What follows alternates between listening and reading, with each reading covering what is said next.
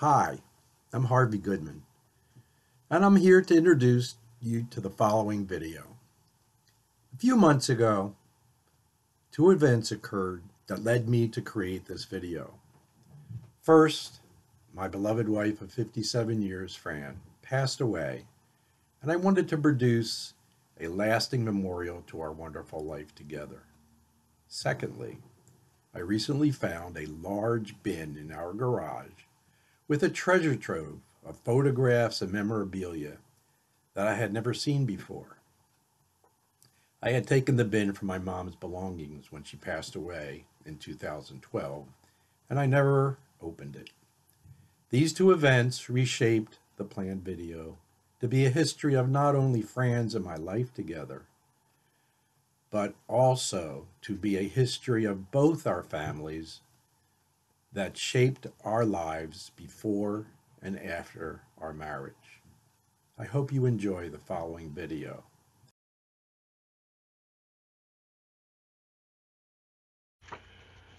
Who was Franny and who am I? More importantly, how did we become us? Simply put, we were both defined by an all encompassing system of memories, experience, feelings, thoughts, relationship, and values. Although I started as a blank slate when I was born in Philadelphia in 1942, I was a unique product of generations that contributed to my being through my DNA. Modern science has the ability to analyze a person's DNA and provide a definitive picture of their ancestry. As I discovered, not surprisingly, my roots are 100% Eastern European Jewish. This not only shaped who I was, but also who my parents were, who their parents were, and who their parents' parents were. I became a product of those that came before me.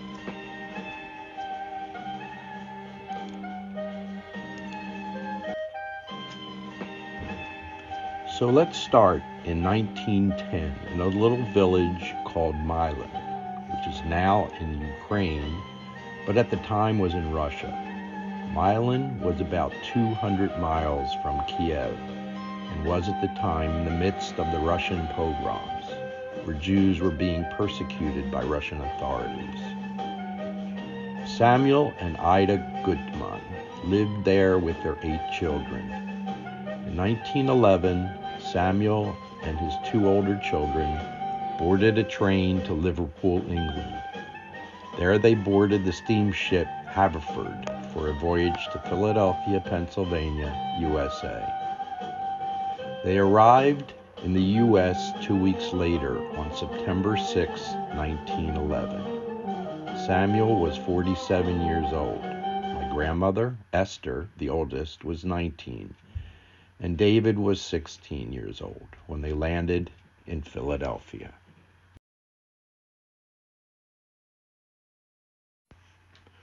One year later, Ida and the remaining children at home boarded a train to Rotterdam in the Netherlands, where they in turn boarded the steamship Volturno. They landed at Ellis Island on September 19, 1912. Ida was 43 years old. Molly was 13. Betty was 8. Isabel was 6. And Albert was 3. As a side note, on the next voyage from Rotterdam to New York, the ship Volturno caught fire at sea and 135 women and children were killed.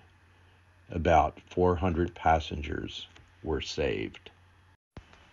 In about 1914, Esther Goodman married Philip Kaminsky. They were, as we can see, a beautiful couple. My mom, Annette Kaminsky, was born in February of 1916, followed by the birth of Ben, born in 1918, and their final child, Sylvia, who was born in the year 1931. In about 1925, at the beach, We see here Esther, Annette, Ben, Ida, Molly, and Leon. In about 1931, again at the beach, were Molly and Leon, baby Sylvia being held by Esther. In 1935, Ida, the matriarch of the family, passed away. A family picture shortly thereafter shows my grandfather Philip, Sylvia, Esther, Isabel holding her son Bobby, and Samuel. In 1940, Samuel, the patriarch of the family, died.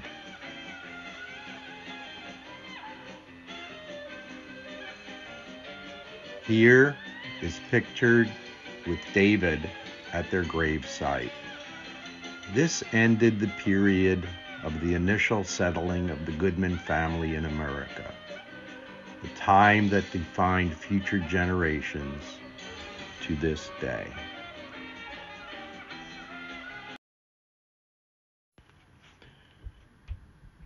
Part 2 Annette and Joe, my mom and dad. Annette Kaminsky graduated from Overbrook High School in 1933 when she was 17 years old. As her bio said, she told funny stories and there were always a lot of people around her because she was so much fun. That literally also describes her for the rest of her life. Aside from her great personality, she also was an absolute beauty, as this portrait of her when she was 23 shows. You must have been a beautiful baby. You must have been a wonderful child. When you were only starting to go to kindergarten, I bet you drove the little boys wild.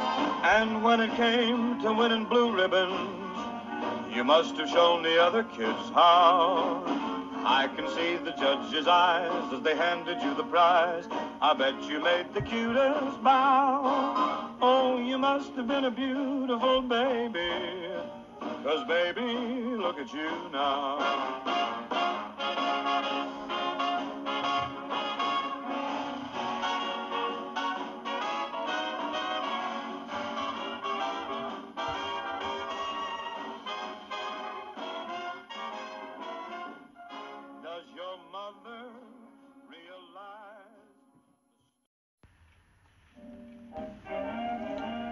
There is very little information about my dad, Joseph Goodman, before he met my mom, Annette, in 1939. These are the earliest photos of my dad that are available.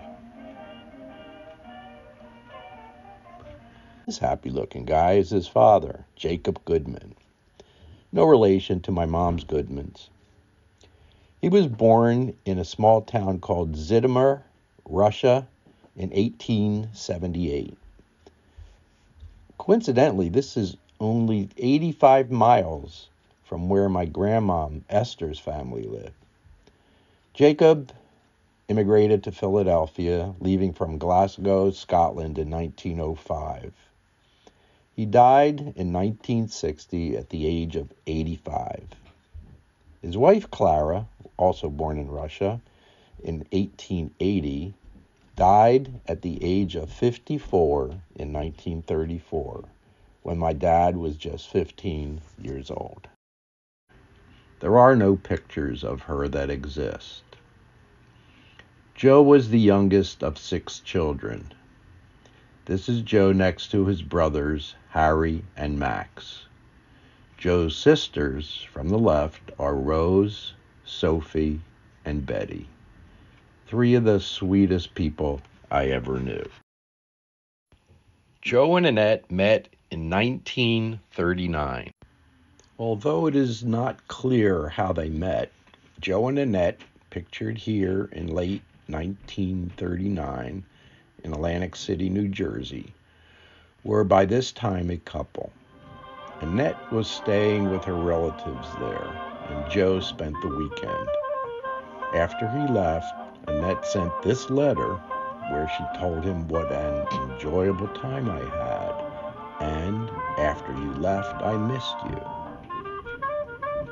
And so, one year later, on September 8th, 1940, Annette Kaminsky and Joseph Goodman were married. A marriage that would last for 60 years. After a honeymoon in Atlantic City, the happy couple moved into Annette's parents, Esther and Philip's house at 4149 Leidy Avenue, West Philadelphia. The house was full of the Goodman family, as well as a number of boarders who were living there. Sylvia, shown with her mother Esther, was nine years old. Ben, who was 22, had just been drafted and was off to Pearl Harbor where he was stationed. Molly's mother in law, who everybody called the Mechatinista, which is mother in law in Yiddish, also lived there. It was a very busy household. As Joe and Annette were beginning married life, events around the world were becoming dangerously close to plunging the U.S. into the expanding war in Europe. Then came December 7, 1941. Today, December 7th, 1941, a date which will live in infamy. The United States of America was suddenly and deliberately attacked by naval and air forces of the Empire of Japan. With Ben at Pearl Harbor, the family had no idea if he had survived. A few weeks later, they got this card saying that he was okay, and then received a phone call where he told them that he was fine, although many of his friends were killed. And so life carried on as the world was inflamed in war. On June 4th, 1942, one of the most significant events of the war took place in the Battle of Midway. On the other side of the world, another significant event took place. Harvey Samuel Goodman was born.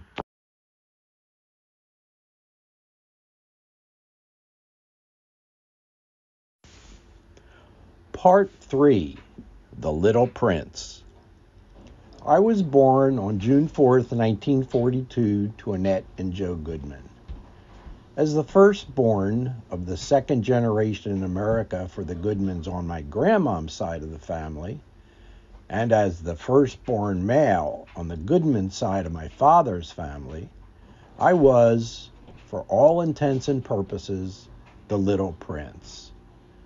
To say I was spoiled is an understatement.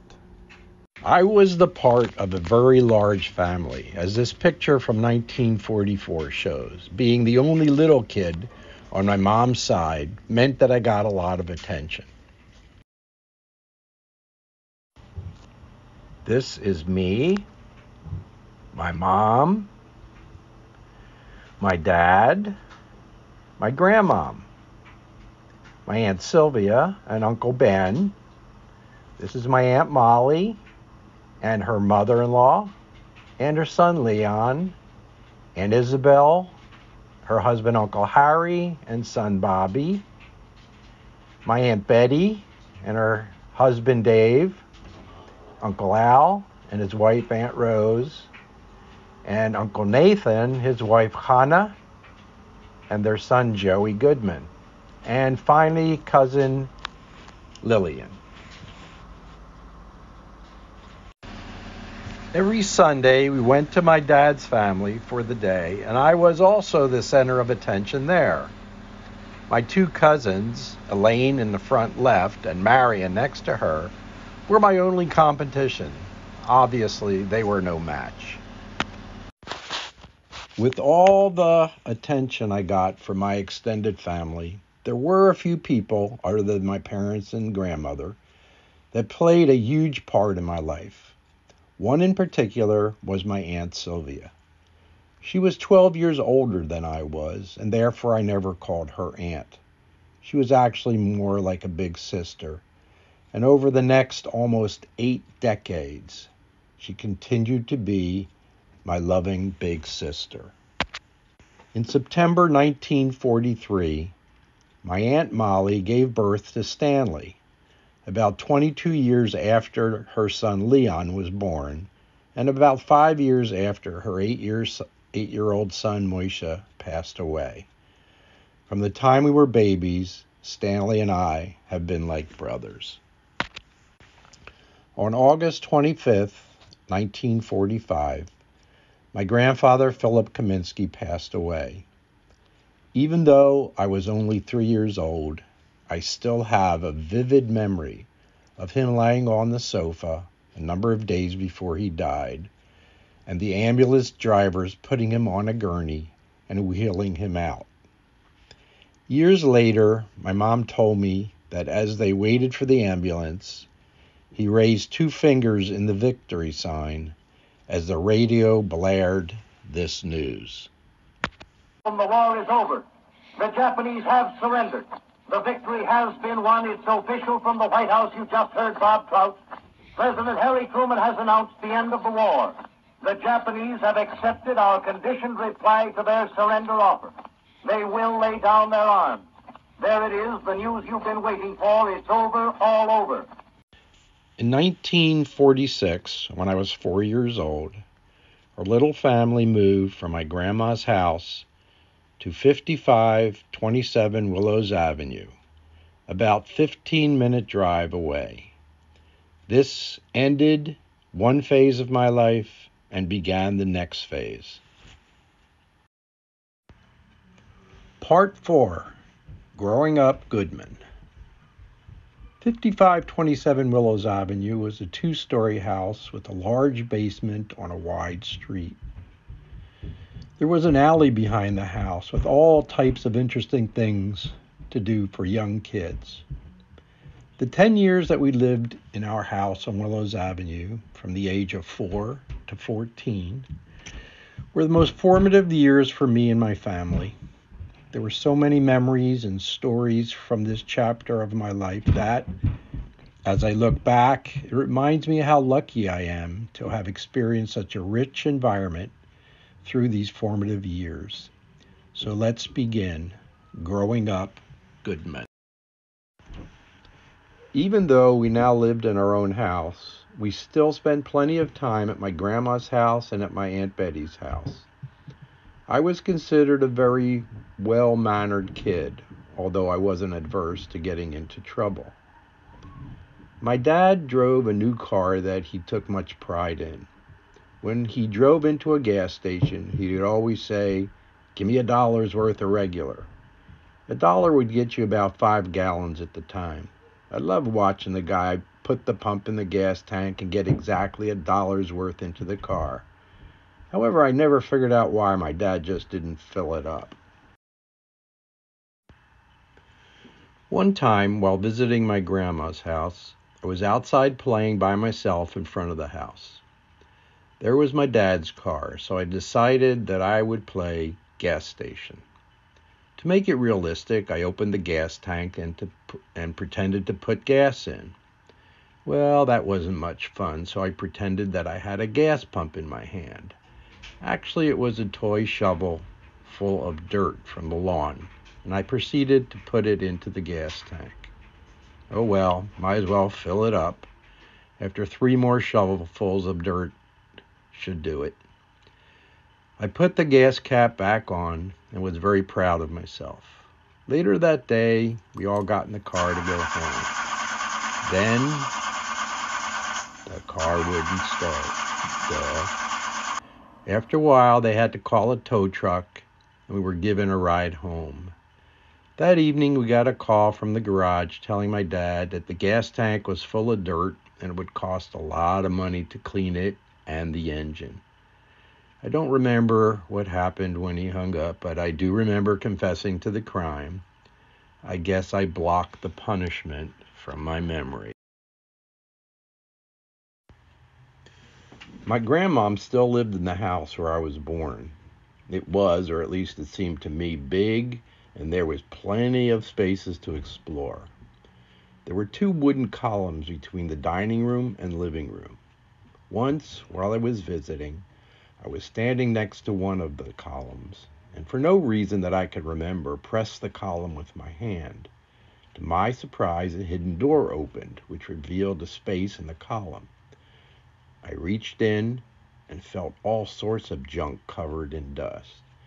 I pulled a large out item out of the column, and it was a pistol, a real gun. Now, I had toy guns, so it didn't occur to me that it was real. So I started walking around the house, pointing it to people and pretending to shoot.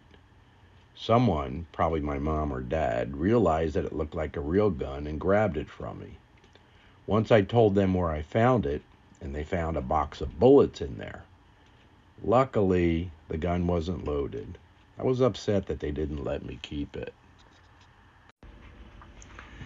My neighborhood had a large number of kids my age, and every day, from early morning to dinner time, I would run around playing all kinds of little kid games. To say I was a very active kid is an understatement. A few months after moving in, my mom took me to the doctor for a checkup. The doctor told my mom that I had a leaking heart that could be fatal. He said that the only way I would survive is if I were bedridden. Of course, my parents were devastated. How could this happen to a kid that never sat still? So they told me that I had to sleep in a bed in the living room and was not allowed to go out and play or even run in the house. I guess I really didn't understand, but thought that it was strange that all my relatives would come and visit me and were very sad. It made me feel a little better that they brought gifts. Ah, yes, my favorite was a record player. I loved the album Peter and the Wolf. I didn't understand how records work. I thought it was connected to real people that would transmit stuff through the record player like a telephone or a radio. I used to quickly lift up the arm of the record player to see if I could surprise them and put it back in a different place to see if they would be able to play the right stuff. Damn, they were good. I never fooled them. This went on for about a week, and I was getting a little upset about not being able to go out and play. Finally, somebody had a brilliant idea that my parents should get a second opinion about my condition. I was taken to another doctor, and my parents were thrilled to hear that there was nothing wrong with me except a slight heart murmur, and I was allowed to go back to a normal life. I was so happy. Oops, but then a thought occurred to me. I asked my mom if I could still keep the gifts. When she said I could, out I went, running around like the good old times.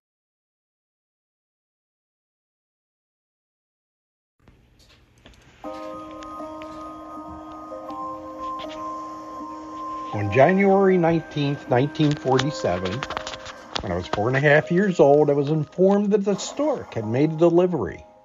I was presented with a new little brother named Paul Mark Goodman. I guess my reign as the little prince was over.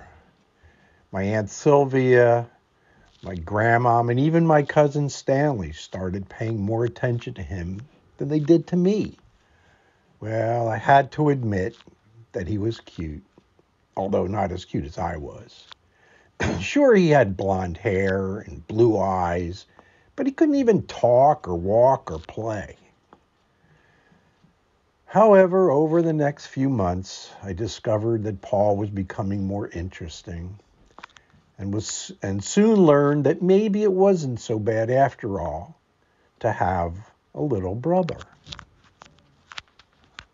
Then, in September 1947, another life changing event happened. I started school. I was now a kindergartner at Longstreth Elementary School.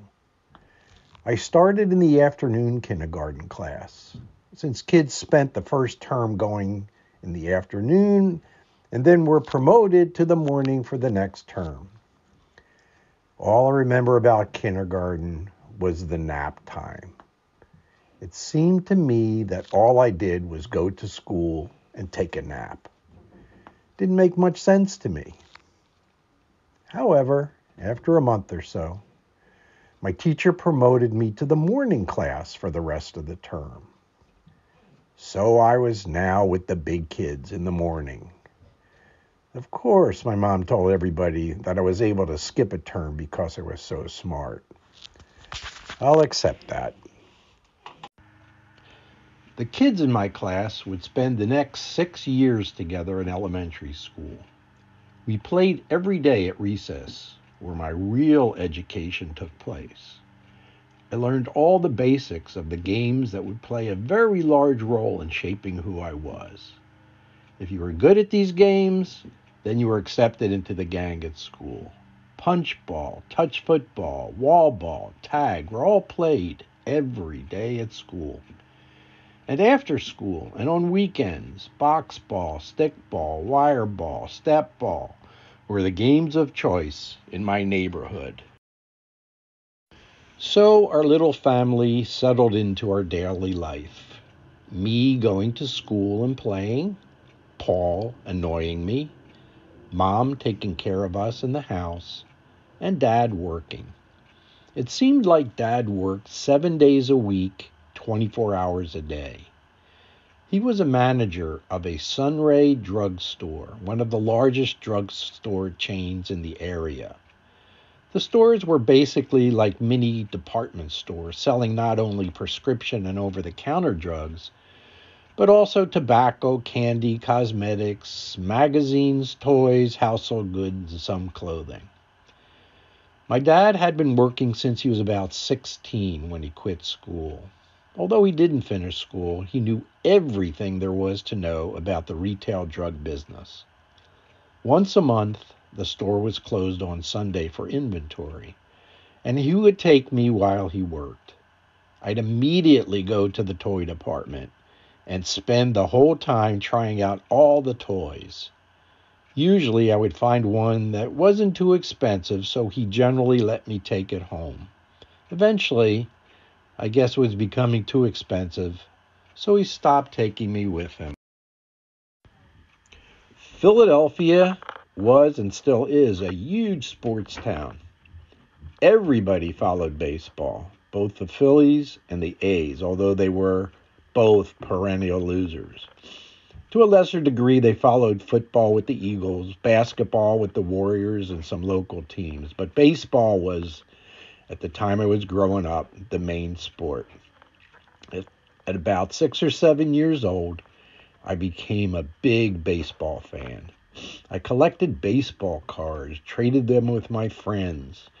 My favorite players were Robin Roberts and Richie Ashburn of the Phillies, and Bobby Shantz and Gus Zernial of the A's.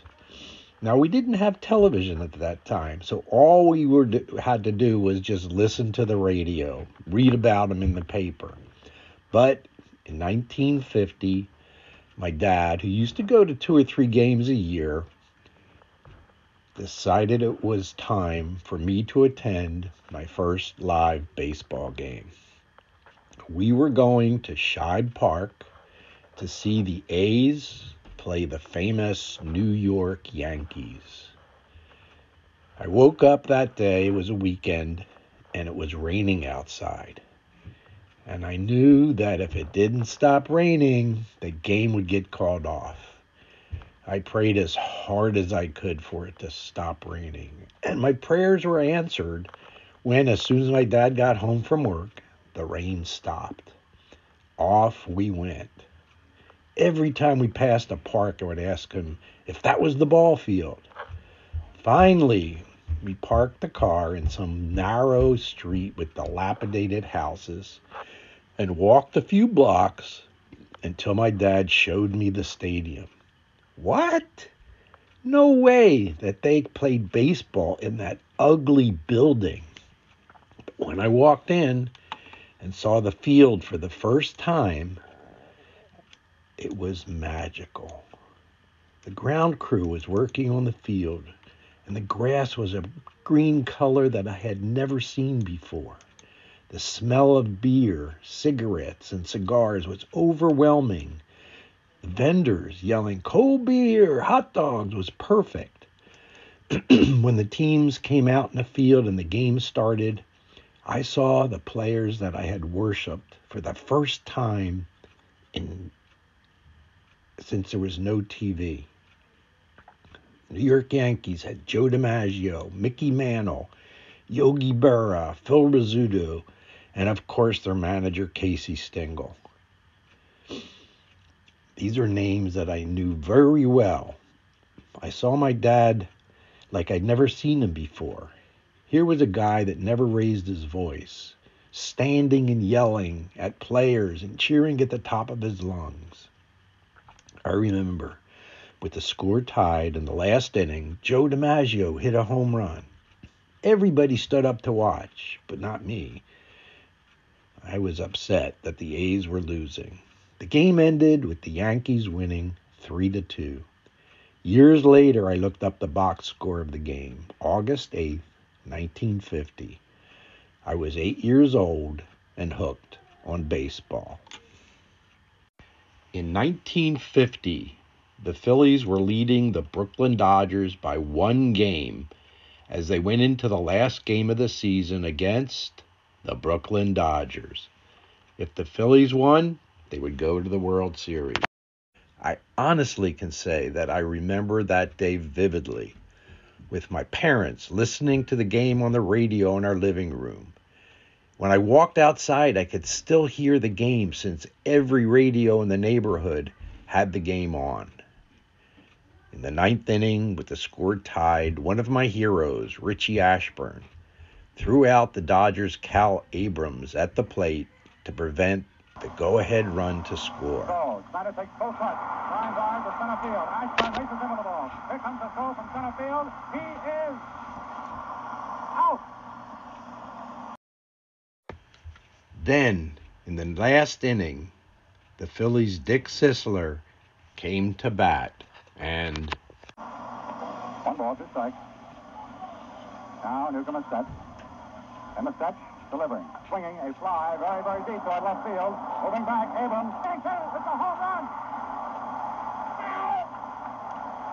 A home run for Dick Sisler. The Phils won the pennant. My mom and dad were like crazy people screaming at the radio. The Phillies were going to the World Series. Looked outside and all the neighbors ran out of their houses and screaming. It was like a huge neighborhood party. To this day, I still know the starting lineup of the 1950 Whiz Kids. At first base was Eddie Waitkus. Second base, Mike Goliat. Shortstop, Granny Hamner. Third base was Willie Puddinhead Jones. And the catcher was Andy Seminick. The outfield was Del Ennis, Richie Ashburn, and the hero of the playoff games, Dick Sisler. Starting right handed pitcher was Robin Roberts. Starting left handed pitcher was Curt Simmons. And the relief pitcher was Jim Konstanty. My dad somehow got tickets to Yankee Stadium to attend the 1950 World Series. I can't believe I wasn't invited. Unfortunately, the Phillies lost to the Yankees in four straight games. Before TV, there were radio programs that most kids my age listened to. The one that was my favorite was The Lone Ranger. I listened to every S episode, and even now, hearing the Lone Ranger theme, of course. course, which is the William Tell Overture, brings back fond memories.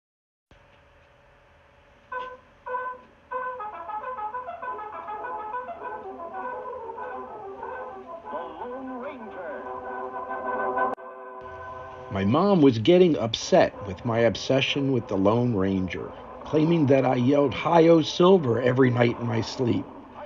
But soon, my interest in the Lone Ranger stopped. I had a new obsession TV. My dad had won a new 7 inch Hallicrafter TV, the first in the neighborhood. All our neighbors would come over to see the new wonder of the world. Since nothing was on until evening, they got to watch the test pattern. The lucky one got to see the real stuff.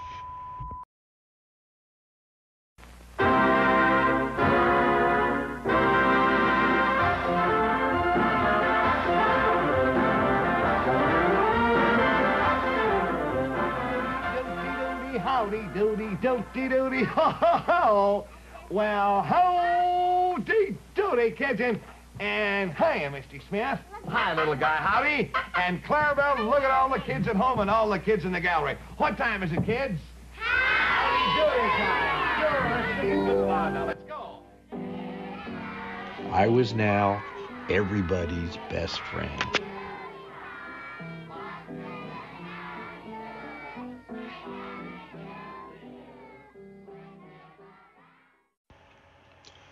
And so life on Willows Avenue progressed. We experienced the events that continue to shape our lives.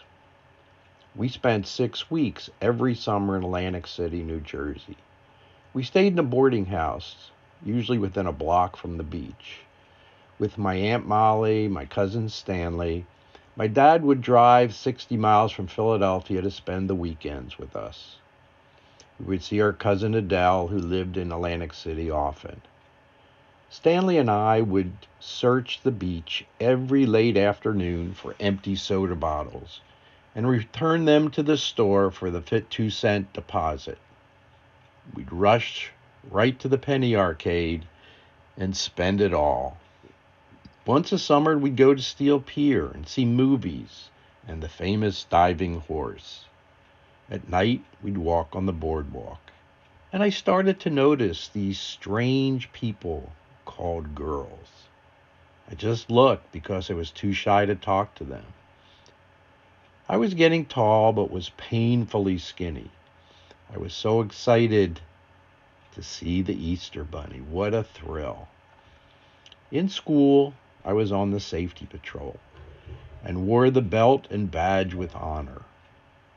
I had skipped grade 5A, and the result was about a year ahead of kids my age. Maybe that's why my teacher's marks like this one were sent home. But in June of 1953, I graduated sixth grade. My autograph book is filled with wisdom of the sixth graders. Roses are red, da da da da da. I was now attending Shaw Junior High School. I spent the months prior to my 13th birthday preparing for my bar mitzvah. Then in June 1955, I was bar mitzvahed at Beth Am, Israel. My mom and dad were so proud of me.